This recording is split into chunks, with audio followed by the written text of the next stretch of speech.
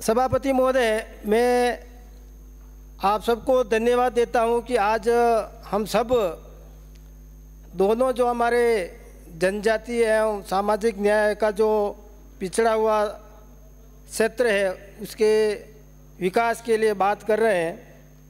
देश आज़ाद होने के बाद में सन उन्नीस में जनजाति विभाग का गठन किया गया। और उन्नीस में जनता पार्टी की सरकार बनी। और स्वर्गीय भैरव सिंह जी शेखाव साहब मुख्यमंत्री बने और इस विभाग का सूद लिया और नंदलाल जी मीणा को सर्वप्रथम यहाँ से जनजाति मंत्री बनाया गया और उसके बाद में इस उनपचास साल के कालखंड में जनजाति परिवारों के विकास के लिए कई प्रयास किए गए, जिसमें आपके शिक्षा हो, चिकित्सा हो, बिजली, सड़क, कृषि, पीने का पानी, अन्य। और धीरे धीरे सन उन्नीस पंचानवे में फिर से माननीय भैरव सिंह जी शेखावत साहब की सरकार बनी और उस टाइम में पंचायती राज को और सशक्त करने के लिए एक कानून लाया गया और उस कानून के तहत आज हमारे कई भाई बहन एसटी के जिला प्रमुख है, कोई प्रधान है, कोई सरपंच भी है, कोई जिला परिषद सदस्य भी है, कोई पंचायत समिति सदस्य है। और इस आरक्षण से जनजाति का कुछ आगे बढ़ने का मौका भी मिला और उसके साथ में हमारे इस जनजाति विभाग द्वारा शिक्षा के क्षेत्र में बहुत सारे काम किए भी जा रहे हैं। जैसे छात्रावास खोलना संचालित करना एकलव्य मॉडल विद्यालय खोलना और माहवाड़ी केंद्र खोलना ये सारे काम हुए हैं।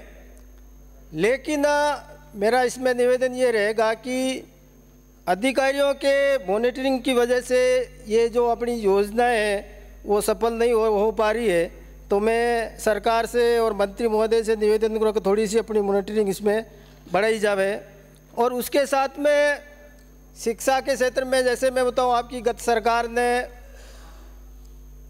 प्रत्येक ग्राम पंचायतों पर विद्यालय भी क्रमोन्नत किए। विद्यालय क्रमोन्नत करने के बाद में वहाँ पर किसी प्रकार का आपके कोई कमरे की कोई व्यवस्था नहीं है। आपके वहाँ पर पढ़ाने के लिए अध्यापकों की कमी है। और दूसरे गाँव में यदि वो बच्चा पढ़ने जाता है तो कहता है कि भाई आपके गाँव में बारहवीं तक का स्कूल है, आप वहीं पढ़ो। इस प्रकार से हमारे इस क्षेत्र में बहुत भारी समस्या पैदा हुई है। तो आप सबसे मैं निवेदन करूँगा मंत्री महोदय कि ऐसे क्षेत्रों में हमारे विद्यालय में कमरे भी बनाए जावे और वहाँ पर अध्यापकों की कमी है, उसको भी पूरा किया जाए ताकि टीएसपी क्षेत्र में इसका लाभ मिल सके। उदाहरण के तौर पे मैं बताऊँ आपको कि इस वर्ष हमारे यहाँ पर कोटड़ा कोटड़ा में कम से कम चार सौ अध्यापक बाहर से आए और कोटड़ा से एक भी हमारा अध्यापक नहीं बढ़ा। उसका कारण ये था कि वहाँ पर विद्यालय में अध्यापक नहीं है, सुविधाएँ नहीं है। उस कारण से उनका लाभ नहीं मिलने से आज हम यहाँ वंचित हैं। उसके अलावा अभी वर्तमान में हमारे बजट में, देवला में हमारे को एक एकलव्य मॉडल की घोषणा की। मैं माननीय मुख्यमंत्री जी का, वित्त मंत्री जी का एवं मंत्री जी का धन्यवाद देता हूँ कि आपने एक लेवे मॉडल खोलने की घोषणा की। उसके अलावा आपने देखा होगा कि 2018 में हमारे राजस्थान में कुछ टीएसपी क्षेत्र का विकास विस्तार भी हुआ था, जिसमें पूरा हमारा गोगुंदा क्षेत्र इसमें शामिल हुआ था। और टीएसपी क्षेत्र घोषित होने से मेरे वहाँ पर लगभग पाँच हज़ार लोग आपके सरकारी नौकरियों में लगे उस टीएसपी के आरक्षण से। कोई आपके पुलिस में भी लगा, कोई पटवारी बना, कोई सचिव बना। इस प्रकार से हमारा क्षेत्र भी इस टीएसपी क्षेत्र के विस्तार होने से इसका लाभ भी मिला। उसके अलावा गोगुंदा में हमारे एकलव्य मॉडल भी गत सरकार 2013 और 18 के बीच में था। तो उस वहाँ पर एक लेव मॉडल विद्यालय भी खुला और खुलने के बाद में लगभग 500 बच्चे आज की तारीख में वहाँ पर अध्ययनरत हैं। और मैं आपसे निवेदन भी करूँगा कि हमारे वहाँ पर सन उन्नीस सौ अठहत्तर में एक रावस में छात्रावास बना था और अठहत्तर के बाद में 2018 तक एक रुपये आने लगा। 2018 में लगभग एक लाख रुपए वहाँ पर उसके रंग रोगन के मिला। और उसके बाद में गत टाइम में भी मैंने इस बात को उठाया था और वर्तमान तक वहाँ पर एक भी आज की एक कन्नी ईंट भी वहाँ कुछ लगी भी नहीं है। तो मैं सरकार से मांग करूँगा कि उस छात्रावास को फिर से नया बनाया जाए भवन। और वहाँ पर लगभग सौ छात्रों छात्राओं का वहाँ, बालकों का सीटें थी और वो भी हमने कम कर दी। तो मैं आपसे निवेदन करूँगा कि वहाँ पर सीटें वापस बढ़ाई जाए इसके अलावा बिजली की जहाँ तक बात है, हमारे क्षेत्र में सौभाग्य योजना एवं दीनदयाल योजना में लगभग सभी गाँव, गाँवों में लाइट पहुँच गई है। लेकिन कुछ गाँव ऐसे हैं जो वन विभाग के एरिया में आते हैं। उस कारण से वहाँ पर अपनी लाइट नहीं पहुँची है तो वहाँ पर लाइट पहुँचाने का काम भी सरकार से मैं निवेदन करूँगा। उसके अलावा चिकित्सा की सुविधा हमने हमारे वहाँ पर बहुत सारे पीएससी भी है सी एस सी भी है, लेकिन डॉक्टरों की भारी कमी है। जैसे मेरे उपखंड गोगुंदा के जो देखेंगे तो आप वहाँ पर कम से कम तेरह चिकित्सकों की नियुक्ति होनी चाहिए, उसके बदले मात्र वहाँ पर आज की तारीख में दो डॉक्टर काम कर रहे हैं।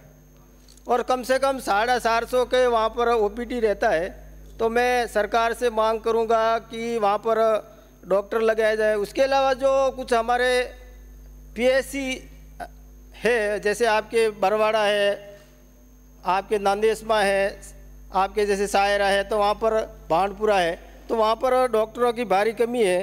तो उसको देखते हुए इस टी क्षेत्र में डॉक्टरों की भर्ती करके हमारे वहाँ पर ये सुविधा दी दी, दी, दी जाए उसके अलावा प्रधानमंत्री सड़क योजना जिसमें अभी भी अपन देखते होंगे कि 2001 की जनगणना के अनुसार सड़कों का मापदंड किया जाता है।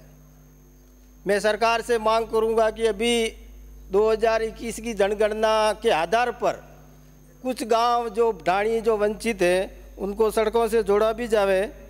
और कृषि के मामले में मैं मंत्री महोदय से निवेदन करूँगा कि अपनी जनजाति विभाग से सामुदायिक आपके जो दिए जाते हैं, लिफ्ट योजना, पिछले कम से कम दस साल से गोगुंदा कोटड़ा में एक भी लिफ्ट योजना आपने स्वीकृत नहीं की है।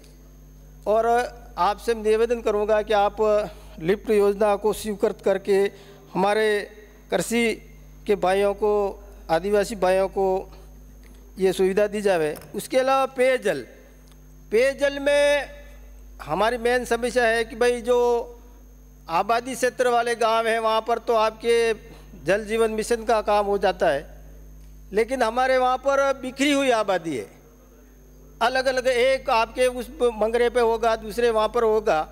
तो मेरे, मेरा निवेदन ये है कि इसके लिए आपके जल जीवन मिशन में इसको अलग तरह से ले कर के इसको लाभ पहुँचाया जाए उसके अलावा हमारे हमारे मेवाड़ क्षेत्र में एक गौरी नृत्य होता है और गौरी नृत्य लगभग सवा महीने तक गाँव वाले हमारे अलग अलग गाँव में जा कर के गौरी खेलते हैं और इस गौरी को भी आप जनजाति विभाग से ऐसी कोई व्यवस्था होता कि क्या है कि उसका अलग से कोई पहचान हो सके। उसके अलावा डेयरी के क्षेत्र में भी मैं निवेदन करूँगा कि हमारे आदिवासी भाइयों के पास में रोज़गार की कोई सुविधा नहीं है। केवल मजदूरी करते हैं तो डेयरी को भी आप जनजाति विभाग से ऐसी कोई व्यवस्था हो जावे तो उनको इससे लाभ भी होगा। उसके अलावा आप देखेंगे कि एक सबसे बड़ी मांग मेरी ये है कि जोधपुर के आसपास में पाकिस्तान से भील समाज के कई हज़ारों परिवार विस्थापित होकर के आज की तारीख में जोधपुर के आसपास में मजदूरी कर रहे हैं। और उनके पास में किसी प्रकार का कोई दस्तावेज़ नहीं है। मेरा निवेदन रहेगा कि उनको पहचान करके इनको भी कोई सुविधा दी जाए ताकि वो भी मानवीय तौर पर तो मैं आप सबसे ये भी निवेदन करूँगा। उसके अलावा मैं सरकार और मैं माननीय मंत्री महोदय से एक मांग भी करूँगा कि हमारे सायरा क्षेत्र में एक जरगा जी का स्थान है। धार्मिक स्थल तो वहाँ पर आप कोई विकास का ऐसा कोई आपके मारवाड़ से लगा करके बहुत सारे लोग यहाँ आते भी हैं, हज़ारों की तादाद में तो मंत्री महोदय से मैं निवेदन करूँगा कि वहाँ पर ऐसी कोई धार्मिक स्थल को विकसित करने के लिए भी कोई आप राशि स्वीकृत करेंगे तो ये भी होगा। उसके अलावा हमारे सायरा बेल्ट में छात्रावास की कमी है तो करदा या बरावाड़ा गुंदाली, यहाँ पर एक छात्रावास भी खोला जावे। और उसके अलावा हमारे बड़गांव क्षेत्र में भी जो आपका लोसिंग और भूताला क्षेत्र है, वहाँ पर छात्रावास खोला जावे। और उसके अलावा मेरी बहुत सारी मांगे भी थी, लेकिन आप सबने वहाँ पर उसकी स्वीकृति भी पहले सरकार की ओर से हो गई है। तो मैं आप सबका बहुत बहुत धन्यवाद। जय भारत।